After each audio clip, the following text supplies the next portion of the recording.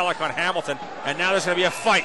It's going to be Rogers taking on Matt Pelech. And I tell you, Rogers better hang on because Pelech can throw. Rogers and Pelech. Pelech knocks down Rogers. They both fall down. Not a whole lot of fight going on there. Massive hit by Pelech on Hamilton.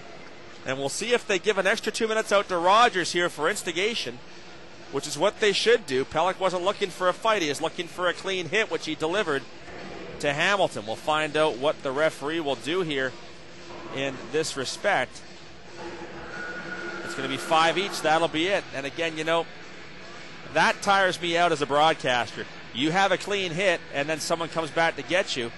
That, that's two for instigating a 10 minute misconduct as well as the five.